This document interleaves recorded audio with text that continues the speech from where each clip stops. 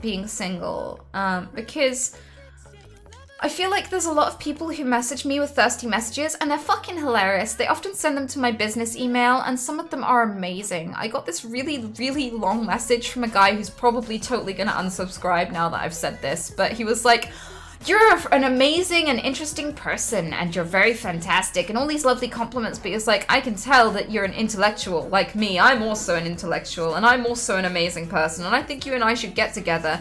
I, I know that you probably get lots of messages like this and I know I probably don't have a chance but I have this heat-seeking missile in my pants that guides my actions and I'm sorry to say I have to obey it. So in the slightest odd chance that this will get past your, whoever sorts through your emails for you. I thought that maybe you and I should, you know, go on a date. I was like, wow. Good luck to you and your heat-seeking missile, buddy. But today, it definitely missed.